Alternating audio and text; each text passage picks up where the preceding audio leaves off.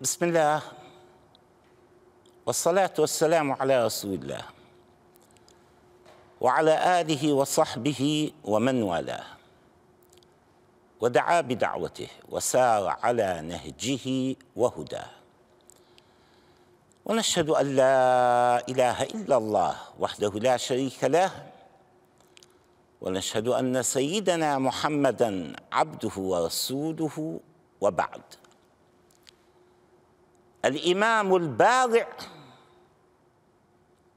في تأويل الرؤى والأحلام محمد بن سيرين البصري. ولد في خلافة عثمان. أما أبوه فكان مملوكا لأنس بن مالك رضي الله عنه. وأما أمه صفية فكانت مملوكة لأبي بكر الصديق رضي الله عنه. وهما من سبع عين التم. ذلك أن سيدي خالد لما ذهب إلى العراق حتى يطهر أرضها من رجس المجوس وصل عين التم قرب الكوفة. ففر المجوس وجاء بالسبي إلى المدينة وكان ما كان. طلب العلم من ابن عباس وأبي هريرة وعبد الله بن عمر. فكان إماما من أئمة المسلمين في الفقه وفي التفسير ولكنه برع في علم التأويل. ومن مناقبه قولة الحق عند الظلمة سيد الشهداء حمزة ورجل قام إلى سلطان جائر فأمره ونهاه فقتله. دخل محمد بن سيرين على ابن هبيرة وكان حاكما للعراق وكان ظالما. فقال له ابن هبيرة كيف تركتم مصركم؟ فقال له محمد بن سيرين تركتها والظلم فيها فاش وأنت عنهم لاهن. كان بجواره ابن عمه فغمزه فقال له محمد بن سيرين أنا الذي سوف أسأل عنهم يوم القيامة ولست أنت. كلمة حق عند سلطان جائر. من مناقبه تعبيره للرؤى والأحلام. الحسن البصري إمام التابعين.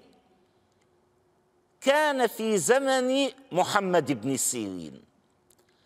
يرى الحسن البصري رؤيا أنه قائم وعند رجله مزبلة وهو يضرب على الطنبور. والطنبور هي آلة موسيقية فاستيقظ مرتعبا.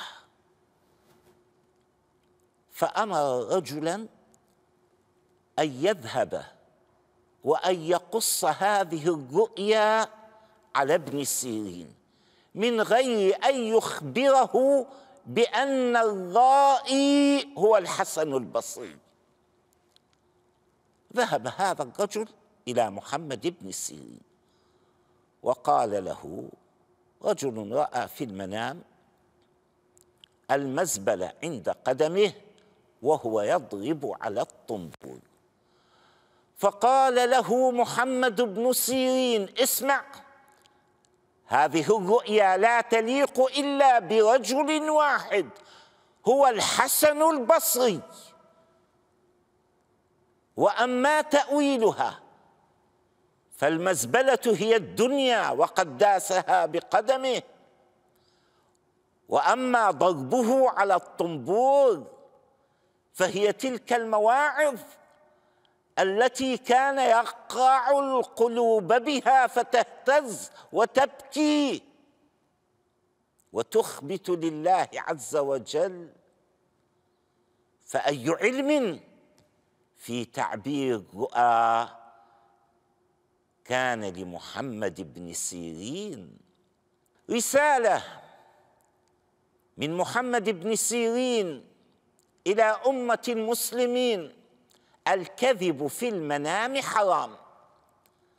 لقول النبي عليه الصلاة والسلام من تحلم بحلم لم يره كلف أن يعقد بين شعيرتين وليس بعاقد. قال العلماء وذلك كناية عن طول عذابه في الآخرة. الرؤيا من الله والحلم من الشيطان الرؤيا من الله تأتي فيها النفع وفيها الفائدة للعبد. فإما أن تكون زاجرة تنبه العبد على معصية قد وقع فيها.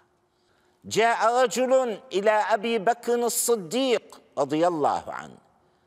يقول له إني رأيت في المنام أني أبول دما فقال له أبو بكر رضي الله عنه علك تأتي أهلك وهي حائض. قال نعم. قال ألم تسمع قول الله عز وجل ويسألونك عن المحيض؟ قل هو أذى فاعتزلوا النساء في المحيض. وإما أن تكون الرؤيا مخبرة عن أمر مستقبلي. يرى النبي عليه الصلاة والسلام في منامه أنه هاجر إلى أرض ذات نخل فيقول عليه الصلاة والسلام لا أدري أهي اليمامة أم هج فإذا هي المدينة مدينة يثرب. وهذه عائشة رضي الله عنها رأت في المنام أن ثلاثة أقمار قد نزلوا في حجرها فسألت أباها أبو بكر الصديق رضي الله عنه فقال لها إن صدقت رؤياك فثلاثة من خيرة أهل الأرض يدفنون في حجرتك. فكان كذلك. فكان رسول الله عليه الصلاة والسلام وكان أبو بكر وكان عمر دفنوا في حجرة عائشة رضي الله عنها وأرضاها. وإما أن تأتي الرؤيا منبهة للعبد حتى يستدرك ما فاته من طاعة.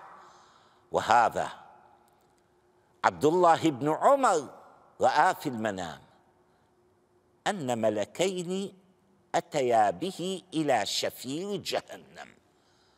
ثم قال له اطمئن لو أنك تكثر من التنفل.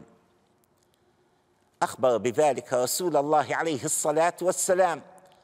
فقال عليه الصلاة والسلام نعم الرجل عبد الله لو كان يقيم الليل.